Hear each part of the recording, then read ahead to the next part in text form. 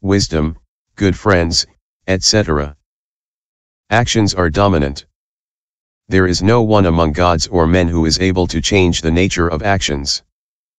For thousands of years, myriads, hundreds of thousands of existences, action always follows its perpetrator without release, like a creditor pursuing his debtor. When the action meets the combination of causes and conditions, it produces its fruit of retribution, like a seed planted in the soil, encountering the complex of causes and conditions and the right time, germinates anew. Action projects the being into an existence of the six destinies with the speed of an arrow.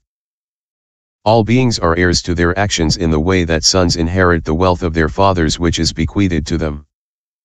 When the fruit of action is in progress, it cannot be stopped, like the fire at the end of the kalpa. Action distributes beings among the various places where they are to be reborn, like the great king of a country distributes administrative posts according to the services rendered. When a man dies, action covers up his mind like a great mountain extending its shadow over things. Action assigns various bodies to beings like the master artist who makes different images. If a person acts well, action procures a fine reward for him. If the person acts badly, action procures a bad punishment for him, like the man who serves a king and is rewarded according to his services. This is a classification of actions and their retribution. 14. Mahakarma Vibhanga Sutra. Moreover, in the Fenpa the Buddha said to Ananda, It may happen that a man who does bad deeds is reborn in a good place and that a man who does good deeds is reborn in a bad place.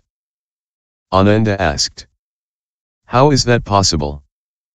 The Buddha replied, if the bad action done by the evil man during the present lifetime has not yet ripened and if a good action done by him during a previous lifetime is already ripened, then for this reason although presently he is doing something bad he takes rebirth in a good place. Or again if, at the moment of his death, a good mind and good mental events arise in him, then for this reason, he takes rebirth in a good place. It may also happen that a man who has done a good deed takes rebirth in a bad place. If the good action done by the honest man during the present lifetime has not yet ripened and if a bad deed done by him during an earlier lifetime is already ripe. Then, for that reason and although he is doing good actions presently, he is reborn in a bad place. Or also if, at the moment of his death, a bad mind and bad mental events arise in him, then, for that reason he takes rebirth in a bad place. Question. This way of seeing in regard to action already ripened and action not yet ripened is acceptable. But how can the mind at death, which lasts only a short time, prevail over the power of actions that extend over an entire lifetime? Answer. Although this mind may be very short, its power is intense. It is like fire or poison that, although small, can accomplish great things. The mind at death is so determinate and so strong that it prevails over the power of action extending over a century.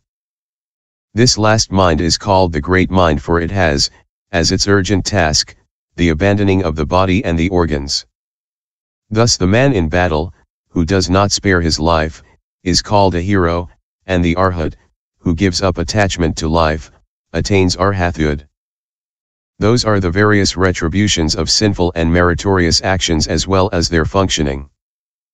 The Sravakas know only that bad action is punished and good action rewarded, but they are unable to analyze the problem with such clarity.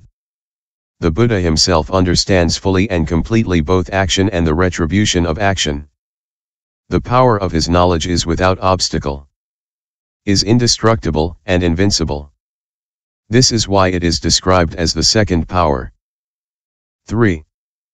The knowledge of the dhyanas, etc. The power of the knowledge of defilement, purification, and the types of trances, liberations, concentrations and absorptions. By trance is meant the four dhyanas. The Buddha knows these dharmas auxiliary to the path. He knows their name and their characteristics, their order, and their practice. he knows if they are impure or pure. In the course of being practiced or already practiced, purified or defiled, with flavor or without flavor, profound or superficial, and other distinctions of this kind. The eight liberations have been explained in detail in reference to the dhyanas. The dhyanas include all the meditative stabilizations of the form realm. The liberations include all the absorptions and the perfection of trance.